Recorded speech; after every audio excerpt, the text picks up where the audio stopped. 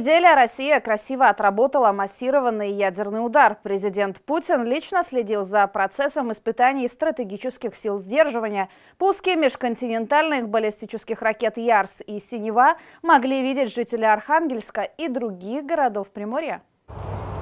Офигеть!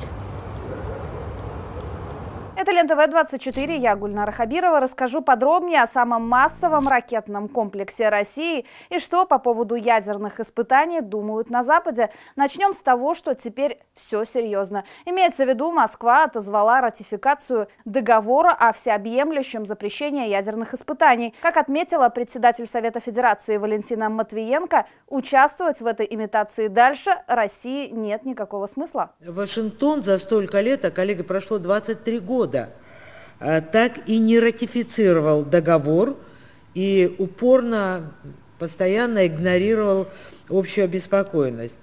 А насчет нашего стремления э, выйти из недействующего, по их вине недействующего соглашения, э, внезапно так горячо обеспокоился, ну вот мы видим, ну сплошное, сплошное лицемерие. Получается, что Вашингтон остается в стороне от запрета на проведение ядерных испытаний, хотя активно вовлекает другие страны. Россия отвечает штатам зеркально. Вслед за Госдумой Совет Федерации единогласно одобрил отзыв ратификации договора о запрете ядерных испытаний. И вот после дел бумажных, как говорится, перешли к практике. Товарищ Верховный Главнокомандующий, в соответствии с планом подготовки Вооруженных сил Российской Федерации под вашим руководством проводится тренировка по управлению вооруженными силами Российской Федерации, в ходе которой будут отработаны задачи нанесения массированного ядерного удара стратегическими наступательными силами в ответ на ядерный удар противника. С космодрома Плесецк взлетела межконтинентальная баллистическая ракета «Яр». Спустя минуты она поразила цель на Камчатском полигоне Кура. Момент запуска покажем. Внимание, счет, пуск.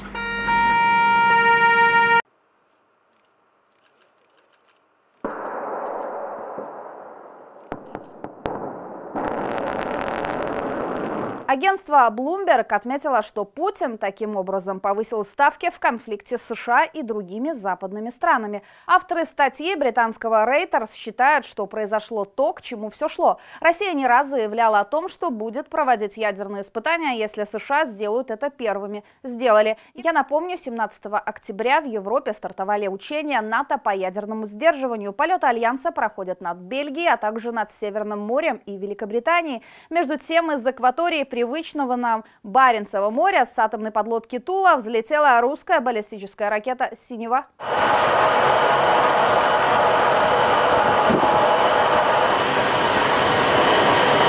Также к российским учениям по ядерному сдерживанию привлекались самолеты дальней авиации Ту-95МС, выполнявшие пуски крылатых ракет воздушного базирования. К слову, такие испытания проводятся ежегодно, но в этом году ситуация накалилась из-за обострения конфликта на Украине. Об этом отметили авторы издания «Хилл». Авторы британского «Гардиана» же считают, что таким образом Кремль пытается заставить Запад остановить поддержку Киева. На Невадском испытательном полигоне США был проведен так называемый химический взрыв, то есть взрыв с использованием химических веществ, анонсированный США как э, мероприятие по проверке надежности соответствующих, соответствующих протоколов и соответствующего оборудования. Но это и политический сигнал, несомненно. Мы должны быть на чеку.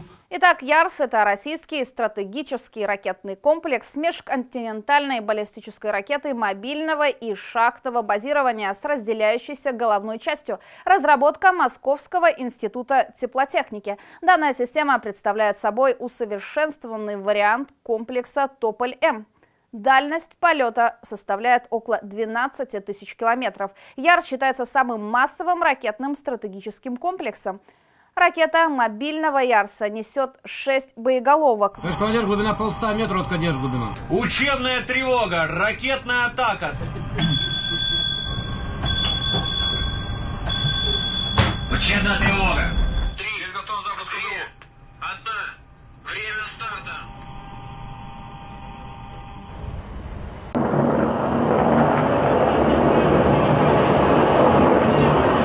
Баллистическая ракета «Синева» морского базирования была принята на вооружение ВМФ России в 2007 году, несет на себе четыре термоядерные боеголовки мощностью 500 килотонн каждая. Дальность ракеты в зависимости от забрасываемого веса составляет до 11,5 тысяч километров. Учения с таким арсеналом, как объяснил министр обороны Сергей Шойгу, не агрессия России, а массированные ответные действия на возможный ядерный удар противника.